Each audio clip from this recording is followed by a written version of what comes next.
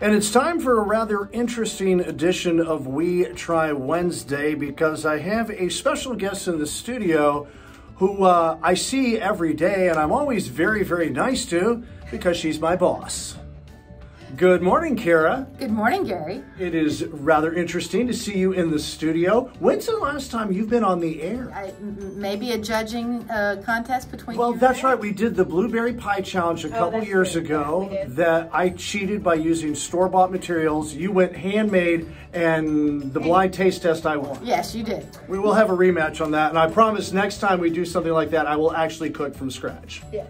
Well, the thing here is that Kira texted me uh, earlier this week and said she has this thing called Crio Bru. It's brewed cacao. Is that how you pronounce it? I guess so. Yes, I think so. It can't, it keeps popping up on my Facebook feed. Mm-hmm. So for all of you out there, and you've seen it maybe, wondered about it, I went ahead and bought it, and I had to try it. It basically it brews like coffee. It's roasted, it's ground, and it is really interesting. Now, here's the thing: it's not instant. We have been steeping it here for about 10 minutes. It's now in my uh, Aeropress, my French press. We're about to strain it through there, and then we're going to try it. It has, they say, the aroma and flavor of pure dark chocolate, and it's 100% ground cacao. So, were you ready to do this? I'm ready to do All it. All right, let me get the press here. Okay. Okay, so I've run it through the press, and now I'm going to put some in here, and then I'm going to hand the rest of it to Kira. Thank you. All right, so, what, we have here is It smells like chocolate. it, it smells like literally it smells like it's not hot chocolate. It smells like dark chocolate. Yes. It looks like muddy water, It does. Well, coffee kind of looks like muddy water too, when you think about it. but it. it smells wonderful. All right, so we're just going to try this. No sugar, no cream, or anything. And I'm going to let Kira go first because it was her idea. What do you think? It's not a strong flavor. Mm-hmm. It's kind of weak, uh, but it's pleasant.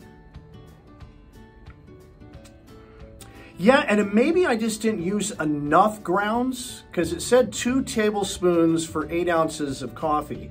I guess you can do that to adjust because I tend to like things a little bit stronger. So, you know, you would have to adjust it to taste, but it's got an interesting, it's got an interesting texture. Yes. I like it. It's um I drink decaf coffee. So you drink fake coffee.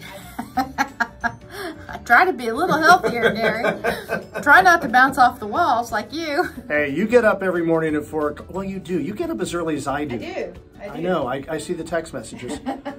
so, all right. So, I guess in the future on this one, it. I mean, it has a perfect color, but I guess I would like double up the the grounds for for I my. think it recommended that you could add cream, whipping cream maybe to it and froth froth milk and make it it would taste more like a hot chocolate. Oh, we don't have any whipped cream in the refrigerator, do we? don't, I should have brought some. What could possibly go wrong? It kind of tastes like decaf hot chocolate. Decaf hot chocolate. All right. Uh, the website is Crio Bru. That's C R I O B R U dot com. If you want to learn more about it, Kira, thank you for bringing this Thank in. you. A healthy alternative. Sláinte.